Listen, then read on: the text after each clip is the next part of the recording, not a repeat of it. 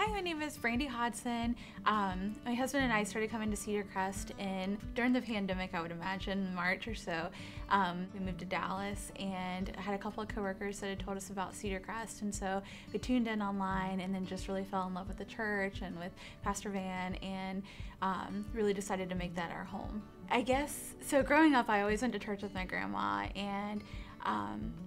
We would go to Sunday school, and I really enjoyed going with her. It was really important to me. I loved getting to go, and it was just our bonding experience. But that was about the only experience that I really had with Jesus and with God, and even knowing anything about the church.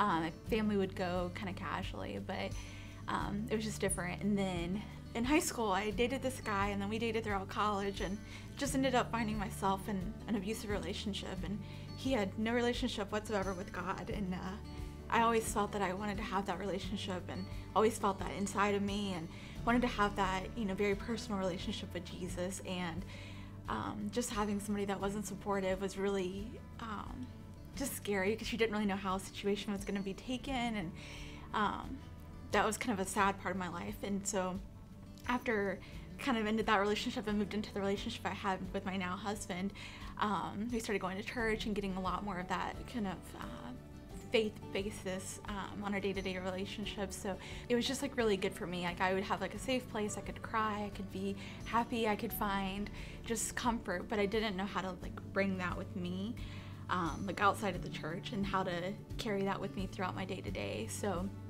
along with my husband and just like a great support system around me. And like with cedarcrest it helped me realize like what i was missing in life and then what i needed. And i just needed more of god. I needed more of jesus. And i needed to like really press in and listen. And it's so powerful and amazing to see like when God can come into your life and just like pick you up and take you out of that and then just like speak to you and show you that you're loved. It's incredible. I just want to get baptized. I owe it to God. I owe everything to Jesus since He's given us everything. He loves us unconditionally and you know, we're brought to have a relationship with God because of Jesus and I just want to share that with everybody and show the goodness and the greatness that happens in my life and share that with everybody else as well.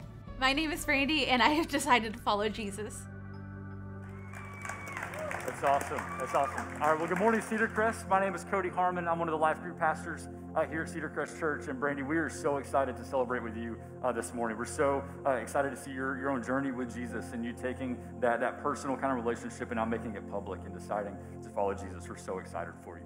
Uh, so I've got two questions for you before we baptize you this morning. Uh, the first is Have you decided to follow Jesus? Yes. yes. And then do you commit to follow him all the days of your life?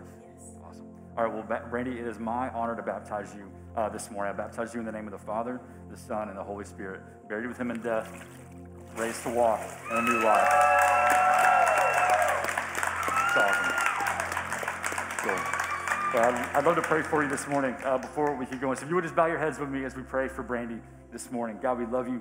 God, we thank you for Brandi. God, we thank you for her heart and for her life, God, for her decision to follow you. God, like she said in her video, Jesus, that you have given us everything. And so, God, we thank you for her example of giving all of ourselves to you. Uh, God, we pray for Brandi and for her family. You continue to move in their lives, God, that you continue to do incredible things in and through them and here at Cedarcrest and in this community. God, we love you. We thank you. It's in your name we pray. Amen.